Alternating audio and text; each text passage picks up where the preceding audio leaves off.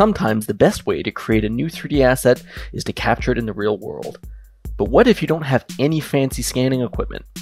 Well, as it turns out, you can get great digital capture using just your cell phone.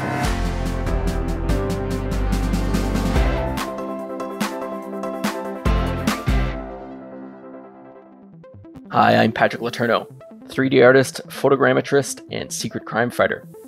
You've probably heard the term photogrammetry before, but maybe you thought it was a bit too advanced or complicated to try yourself. Well, I'm here to show you the technique for capturing incredible 3D scans of the world around you using tools you probably already have at your fingertips. Photogrammetry is the science of making measurements from photographs. Using multiple input images, software is able to infer super accurate three dimensional models that you can put to use. Better yet, you don't need expensive equipment or complicated software to get started. Just your cell phone and some supplies from around the house. In this tutorial, you'll learn how to set up objects for capture and ingest them into software, how to clean up and simplify your model, texturing and baking normal maps, how to export the model into Cinema 4D and Redshift, and the difference in quality between a cell phone scan and a commercial scanning setup. Before we begin, don't forget to grab the project files in the description below so you can follow along. Now let's get started. So here's my setup.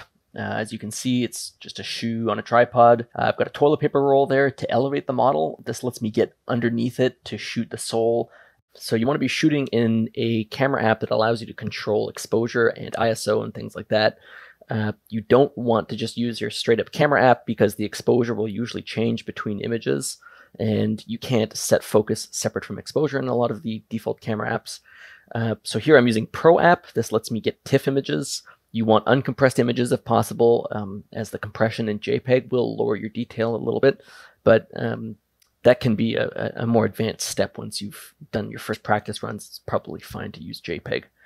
So a DSLR makes this a lot easier, obviously. Uh, don't need to really explain that.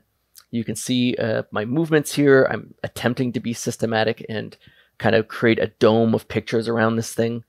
Um, you know, you'll do a ring above the thing, and then you do a ring at the same level as this, uh, as your subject. And then maybe you can go do some orbits of special areas that haven't been covered uh, previously. Here you can see I'm shooting underneath the sole.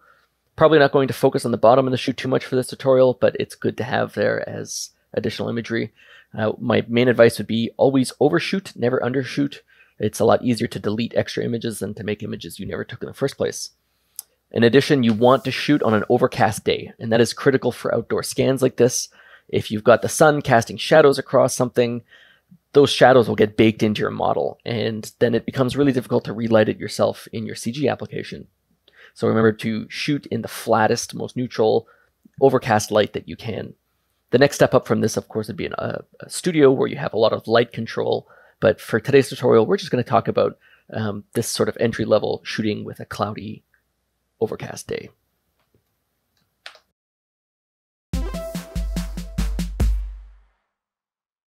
The application we're going to be using today is Reality Capture.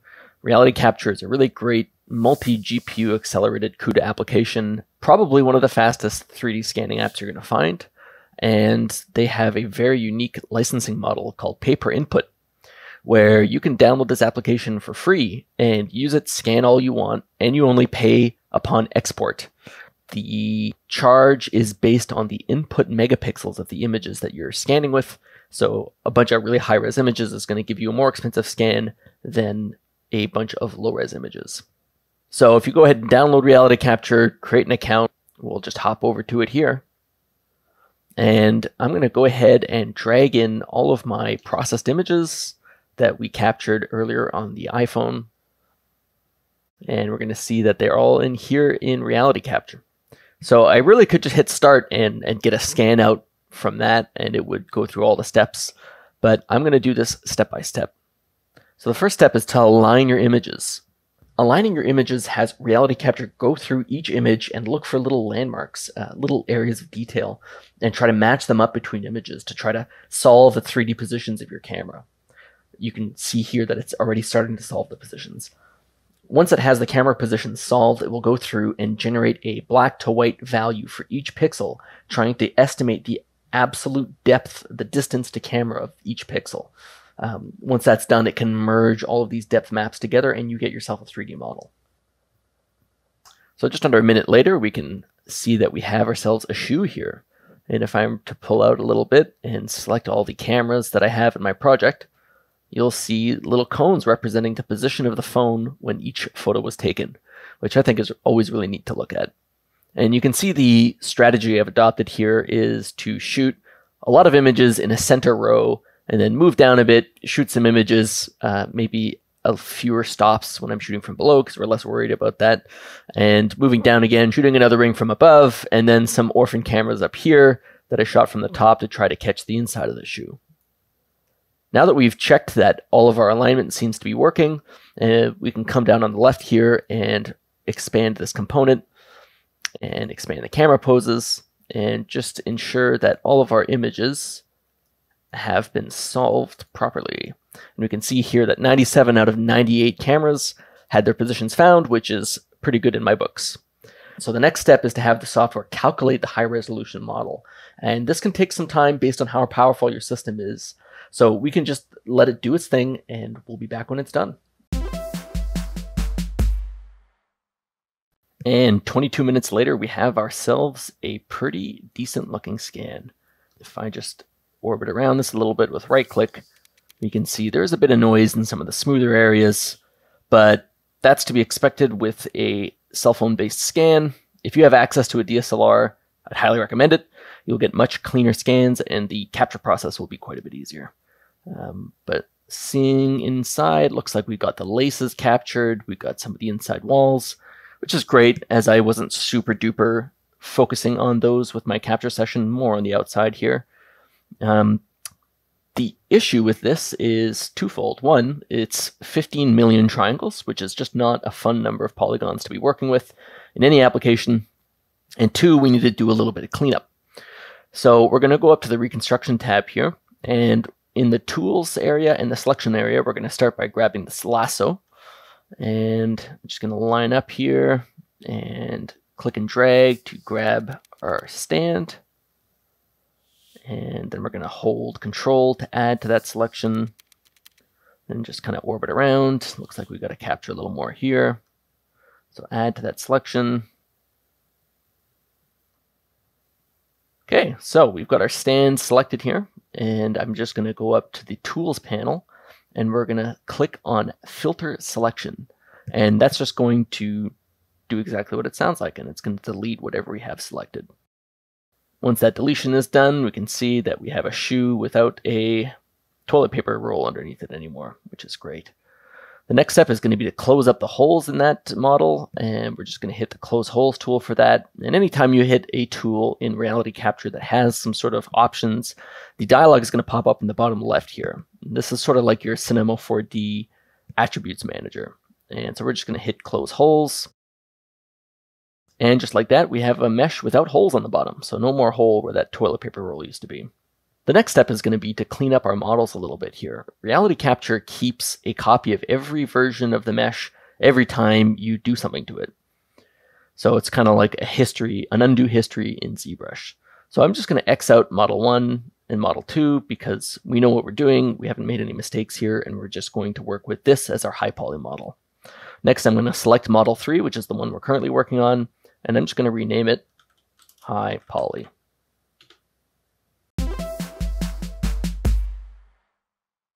So the process of reducing the complexity of this model to something that's a little more workable is done right here inside Reality Capture.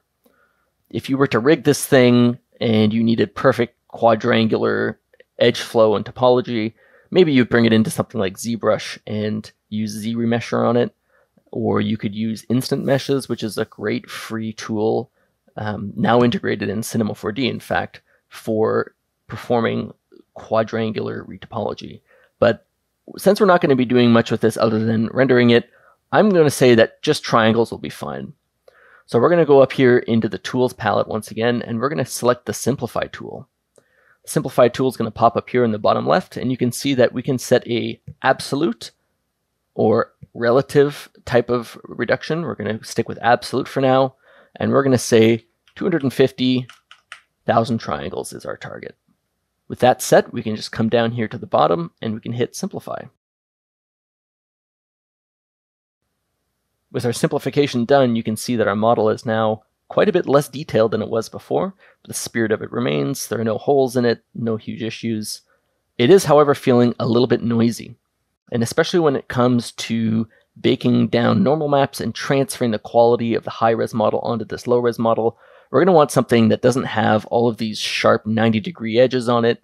Those just never turn out great. So what we're going to do is we're going to go up to the smoothing tool here. And once again, it's going to come down to the bottom left at the top of our panel.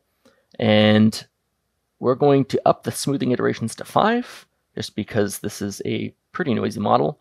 We'll leave smoothing weight where it is, smoothing type to noise removal, all good. And now we'll hit smooth. As you can see, you end up with something a little more melted looking, but this will be a much better target for reprojection of our textures.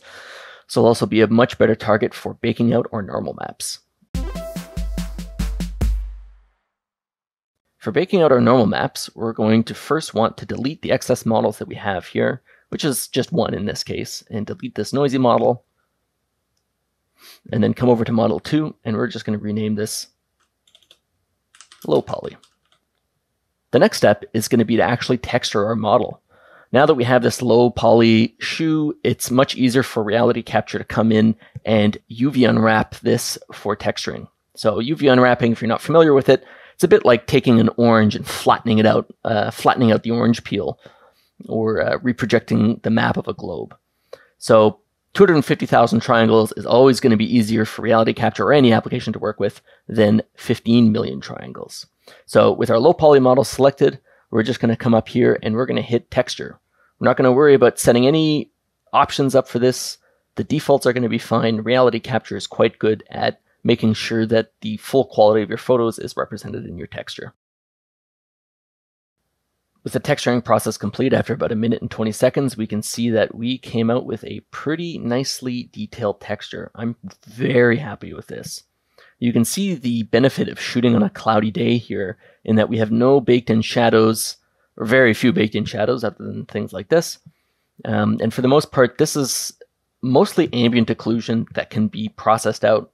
You can run an ambient occlusion node in your renderer of choice and just invert it and apply that to the diffuse color of this model. And you'll sort of clean up some of the shadowed areas here and be more prepared for something that can be lit from scratch. Obviously, a cloudy day is not 100% perfect. If you were striving for perfection, you would use something like a light box or ideally a uh, ring flash around your camera's lens to make sure that you had no shadows and even consistent lighting across each shot.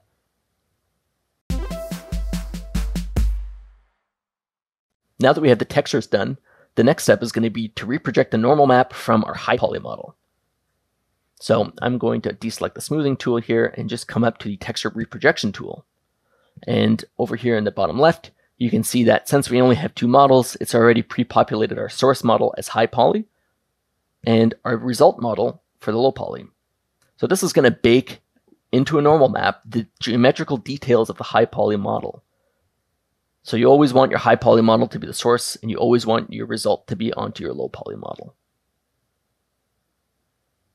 We're going to disable displacement for this, just as displacement is a bit overkill for a model this simple and will add to the time it takes to calculate.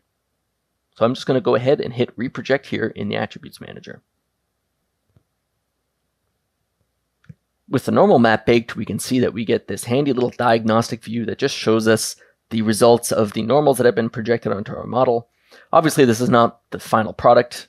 This is just a very handy way to be able to diagnose things like these stitches coming across, and frankly, some of the noise. But again, that won't be an issue with higher quality capture methods, but it's quite excellent for a cell phone, and uh, I love the future. So we're going to go right to the export now. Uh, we're going to go over to the workflow tab, and we're going to hit export model.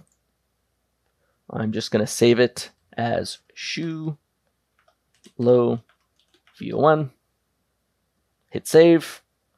And I've already acquired the input licenses for this model. A little screen will pop up with a password prompt that says, hey, this is going to be a $2 model to export. Please input and confirm the purchase. So I went ahead and did that in the TV Magic world. And we're just going to check to make sure that all of our outputs are correct here. So we've got a tangent space normal map that will be created from this world space normal map. We have our normal layer being exported as a TIFF, 32-bit. All very good. Our color layer, once again, 32-bit. We probably don't need TIFF, honestly. Uh, JPEG is more than good enough for diffuse textures. The normal map you're going to want in a less compressed method, more typically, um, and displacement you just can't compress. So with all our options set up here, uh, we're going to keep vertex colors off as well, and vertex normals off. We're just going to go ahead and hit OK. And Reality Capture is going to export that textured and colored mesh for us. And the next step is to pull this into our 3D render engine of choice. Moving on now, we've got our shoe here inside of Cinema 4D. I've just dragged and dropped the exported OBJ into the viewport. You can see this is pretty low res here, feeling really nice and, and nimble and quick. Put down a little plane here so that we get some reflections uh, from the light and put down a redshift dome light with my favorite Maxime Mirage HDRI. Next step is just going to be to create a redshift material. And we'll drag that right onto our shoe. With the material selected, hit Edit Shader Graph. We're also going to open up the Redshift render view here. And we'll hit play. So as you can see, we've got ourselves a shiny, blobby, low-res shoe here. Um, go ahead and make sure you have photographic exposure turned on. Uh, if you're not working the ACES color space, photographic exposure is great to keep things from getting blowed out. So yeah, we push in here, we can see things are looking pretty low res, pretty melted. So let's go ahead and grab the normal map and the diffuse map that we've exported. Drag those into the Redshift shader graph. Then we're going to want to put down a Redshift bump map node here. Wire in our normal map. Make sure that you switch the input type from height field to tangent space normal. Otherwise, you'll get some weird results. And we're going to wire it into the overall bump input. And you'll see magically, boom, we've got ourselves a high res, nice looking shoe. One thing to take note of is gamma override. Oftentimes with these normal maps, especially coming out of uh, apps like Substance, Painter or Reality Capture, you're going to want to turn on your gamma override here. Uh, without it, you get this sort of weirdly darkened shoe. Turn it on, you can see things look normal. If we toggle our bump map, you can see the lighting doesn't change drastically, so that's how you know it's working correctly. If you've got gamma override off and you toggle your bump map and things get kind of dark or weird, that's how you know you got to have your gamma override on. Moving on from here, we plug in our diffuse map into diffuse color and there we go. We've got ourselves a beautifully 3D scanned shoe. I'm still amazed that it came out this good from a cell phone. Um, but there you have it. We can take our light and spin it around and see that we've got ourselves a shoe. So first thing we're going to notice here is that things are quite shiny. Maybe a little bit shinier than they would be in real life.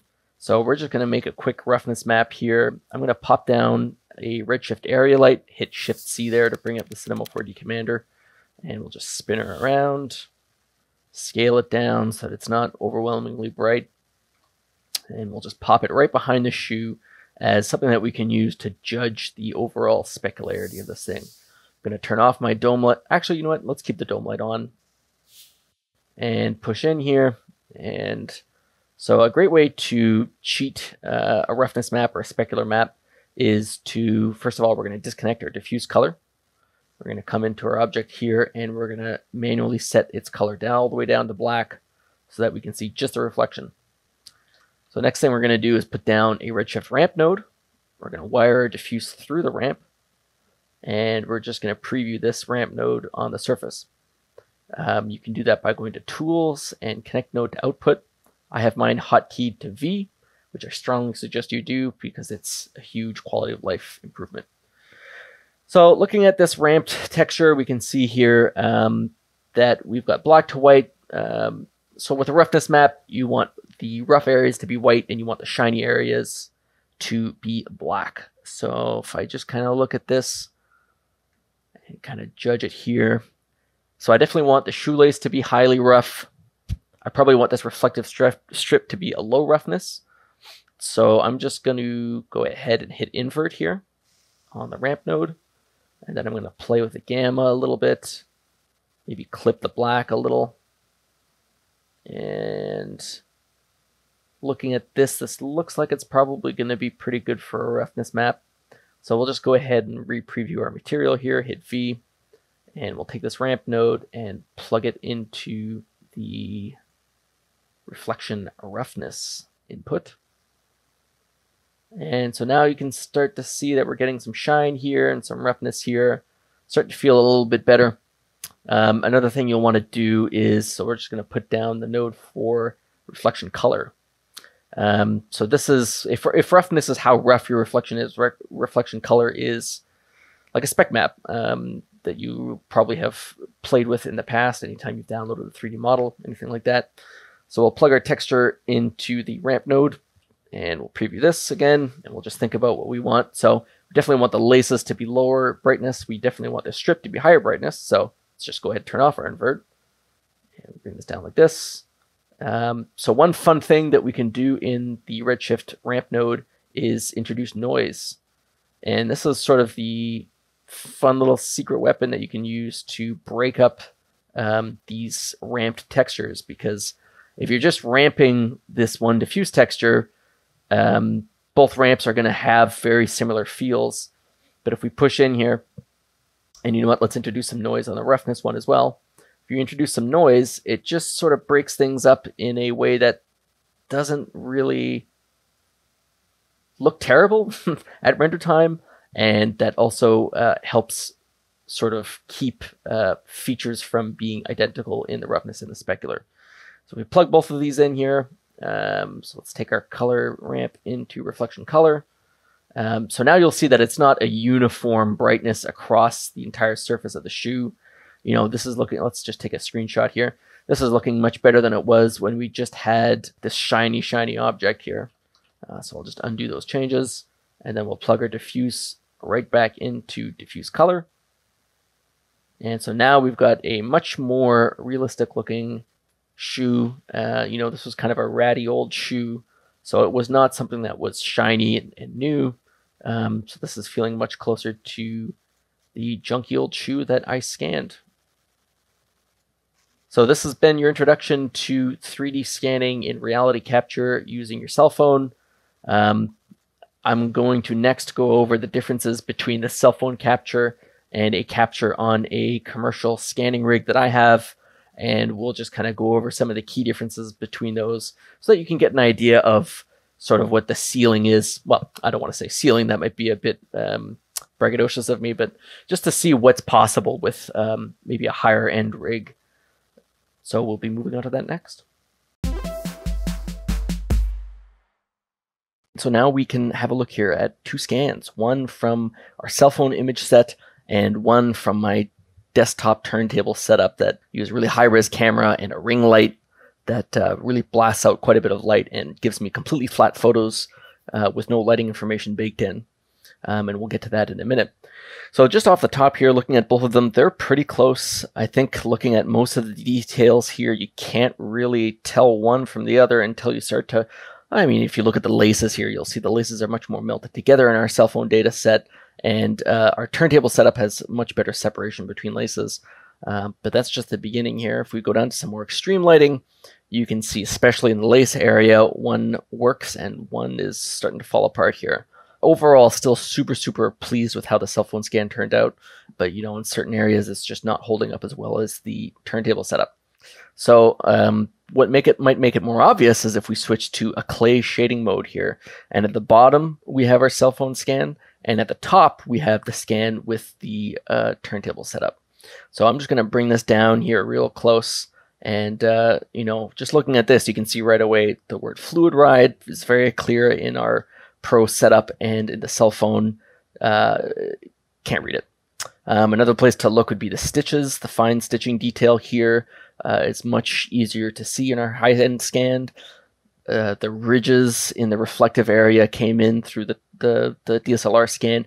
The cell phone, they did not. You can see different textures in this area versus that area, whereas the noisy scan from a cell phone, you just you can't really see what's going on there. Um, so yeah, it's it's it comes down to the finer geometry. This is stuff that's really going to show up when you have things under extreme lighting scenarios. For most really really soft lighting situations, you can usually get away with something that's not entirely clean like this, but it really helps to have this um, in production. Uh, makes a big difference. Um, and so the last thing that I'm going to show you here, and we're going to switch the orders here. Uh, this is our desktop turntable scan here at the top, and this is our cell phone scan at the bottom. So this is us just looking at the diffuse map. So this is the pure texture with no lighting applied to it. And you can see with the turntable setup, since we're providing light for the scene from directly around the lens with this ring light, um, you can see that the textures are evenly lit throughout. So the white on the bottom of the shoe looks the same as the white on the side of the shoe. Whereas when you shoot outdoors or in a, a situation with harsher lighting, we have a light color on the side here and then a much darker color on the bottom. And you can see just looking at them, this one just looks like a flat, you know, if you cross your eyes, it's a totally flat image. This one has lighting information basically baked into it. So even little things like on fluid right here, you can see uh, a little bit of shadowing at the top. That only exists when you have lighting. And, and when you're providing a, a diffuse map, the goal, or an albedo map, I should say, the goal is to have no baked in lighting, no reflections anywhere.